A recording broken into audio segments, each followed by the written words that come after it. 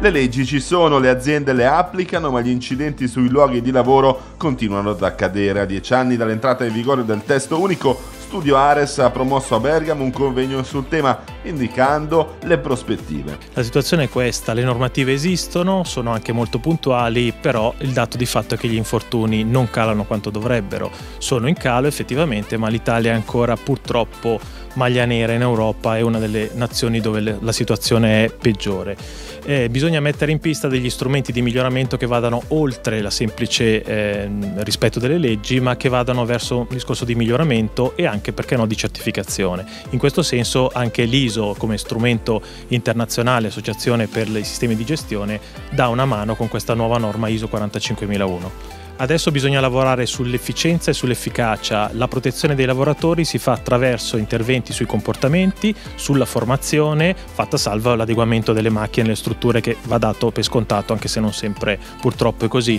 Lavorare sulla consapevolezza significa avere lavoratori formati, lavoratori che operano in modo efficace e significa anche, e per le aziende questo è un tasto importante, al di là di qualsiasi giudizio etico, una riduzione dei costi eh, bisogna lavorare in prevenzione e eh, sensibilizzare ogni collaboratore anche sul suo aspetto personale. A volte si entra in azienda dicendo eh, c'è qualcuno che mi mette al sicuro. Ecco, bisogna anche automettersi al sicuro e sapere che se accade un incidente il primo a essere colpito è il collaboratore stesso. Oggi eh, c'è una grossa novità nella ISO 45001 che è l'introduzione della consapevolezza, quindi l'incremento della consapevolezza nelle aziende sui rischi che i lavoratori corrono è un aspetto che deve essere considerato. L'essere certificati ci aiuta a incentivare ulteriormente questa consapevolezza. A volte si considera soprattutto l'aspetto del, del certificato, devo avere il certificato per partecipare al bando di gara.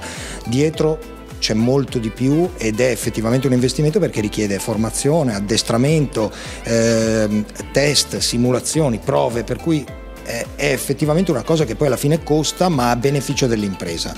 Oggi le imprese non possono essere assenti dal mercato per mezz'ora. Eh, un incidente comporta anche una possibile interruzione delle attività. L'azienda non si riprende più e questo è un rischio che gli imprenditori devono considerare e i collaboratori anche. Sicuramente eh, i datori di lavoro devono pensare che investire in salute e sicurezza è un investimento, non è una spesa. So che per gli imprenditori questo è un po' difficile da comprendere, però è questo cambio culturale che dobbiamo fare. C'è tutto un fervore all'interno della nostra provincia che coinvolge tutte le organizzazioni che sono interessate a salute e sicurezza a far sì che questa eh, condivisione di aspetti positivi relativi a salute e sicurezza deve essere un percorso che deve iniziare dall'asilo e accompagnare tutte le nuove generazioni fino a che arrivano nel mondo del lavoro, in modo tale che arrivati nei luoghi di lavoro siano già consapevoli sulle misure che è opportuno adottare per evitare infortuni o malattie professionali.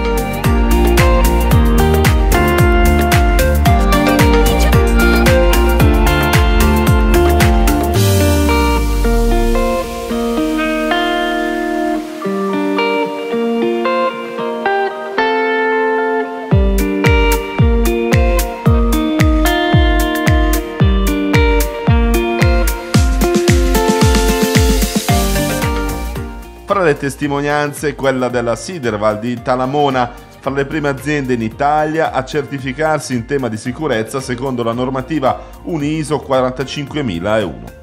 Noi l'abbiamo ritenuto fin dall'origine un investimento perché ci ha consentito fondamentalmente di razionalizzare un aspetto che è molto importante all'interno dell'azienda e di eh, collegare eh, strettamente eh, quello che viene fatto nella pratica è quello che eh, in teoria dovrebbe essere fatto. Nel rapporto con i lavoratori molto spesso eh, si ha la difficoltà a fare passare certi messaggi per cui eh, la sicurezza è nell'interesse di tutti, in primo luogo nell'interesse loro. Molto spesso non viene vista come qualcosa che possa toccarci direttamente eh, e quindi questo direi è il primo problema che si incontra. Successivamente tuttavia eh, molti eh, prendono atto della rilevanza di questo aspetto e quindi eh, sono eh, i primi a farsi portatori anche di nuove idee e di proposte molto utili.